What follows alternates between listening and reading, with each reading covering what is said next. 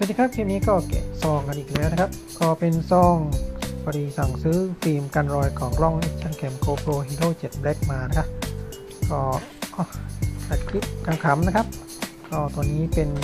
ตัวกันรอยนะครับ พอดีช่วงนี้ก็มีของเล่นใหม่ก็เลยต้องหาโน่นหานี่มาผสมเสริมเติมแต่งให้มันครบสมบูรณ์นะครับ เพื่อจะได้เวลาใช้งานได้สะดวกนะครับ นี้ก็เป็นอ่าการอยโฟกัสนะครับ มี 3 แผ่นนะครับใน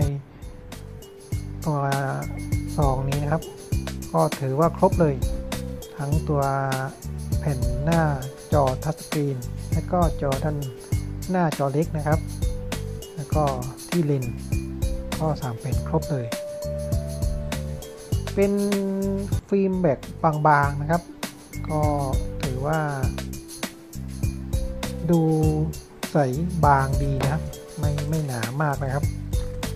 ไม่หนาเหมือนฟิล์มที่ติดกับมือถือนะ อันนี้ฟิล์มนี้จะบางกว่านะครับ ไม่แน่ใจว่าเป็นกระจกหรือเปล่านะของยี่ห้อโฟกัสครับ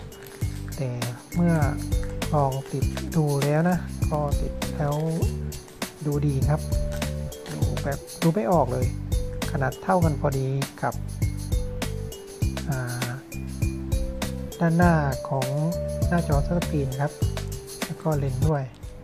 อาจจะเดิมๆกันนิดหนึ่งนะครับ เหลือนิดหนึ่งก็มี 3 แผ่นนะครับ แผ่นเล็กเป็นใหญ่ ก็หน้าจอ เดี๋ยว ไปดูคลิปต่อไปกันนะครับ มี